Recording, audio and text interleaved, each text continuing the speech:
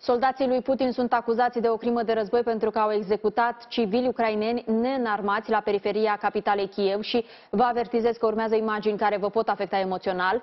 Aceste imagini obținute în exclusivitate de CNN arată cum doi civili au fost împușcați în plină zi de la spate de către soldații ruși, după ce tot ei îi percheziționaseră și îi lăsaseră să plece. De aceea cei doi civili, directorul unei reprezentanțe auto și unul dintre paznici, nici măcar nu au încercat să fugă sau să se ascundă. Mai mult, unul dintre ei a supraviețuit primelor salve, dar a fost ucis câteva minute mai târziu în cabina sa de paznic.